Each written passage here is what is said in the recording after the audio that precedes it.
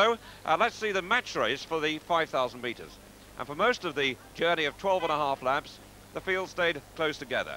And then three got away. Two laps to go in the 5,000 metres. The English supporters living in hope. Two Kenyans there and Charlie Spedding from Gateshead. Now 30, running the race of his life.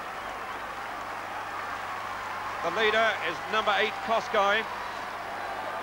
Seen him on the international scene many times, a personal best of 13.26. Charlie Spedding wearing number one for England in second place, and third is Kimai of Kenya, making first overseas international appearance at the age of 30. So Kosgei leads, Spedding in second place. Charlie Spedding not the fastest finisher in the world, but my word, he's dug in there, and he looks fairly comfortable. Looking to see where the trouble is, and it's all from Kenya. Looking back into fourth place, Cerrada of Spain is fourth, Prieto of Spain is fifth, Mike McLeod of England is sixth place, and Kita of Japan is seventh. The time at the moment is on schedule for something just inside 13.40, but they're bound to speed up in the closing stages. It has slowed a little bit in the last two laps.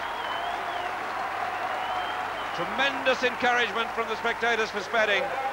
Kosgei holding the curve, and Spedding knows he lacks speed at the finish, and he's made the break, and he's away.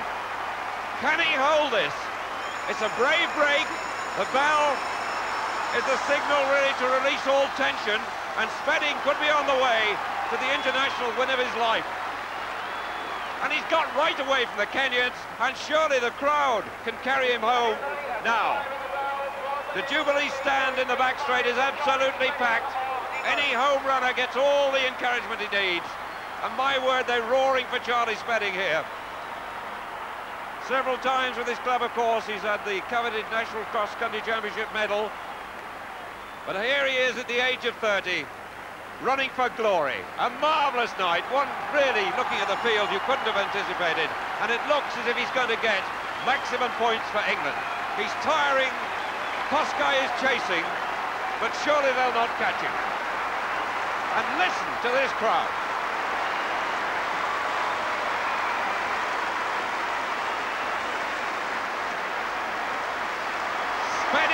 For England. Kosgei is second. Cerrada is third. Kimai is fourth for Kenya. Prieto of Spain is next. And a long way back, Mike McLeod. But the smile says everything. An athlete who's been around for years, a great clubmate of uh, Brendan Foster's, who's enjoyed it just as much as Charlie Spedding. That's the, that's the most famous victory Charlie's had. It's his first international victory. He's worked really hard for it, and I'm delighted for him. And I, I don't think you'll mind me saying, but I bet he has a few beers tonight. What a moment to savour. Years and years of running behind him. And suddenly he bursts through to win a major international race. Nice moment for Brendan Foster, who says as he goes round there, well, that's the first lap of honour Charlie Spedding's ever run, and my word, he's entitled to enjoy it. There's a few thousand miles in those legs of hard training. And there's the reward.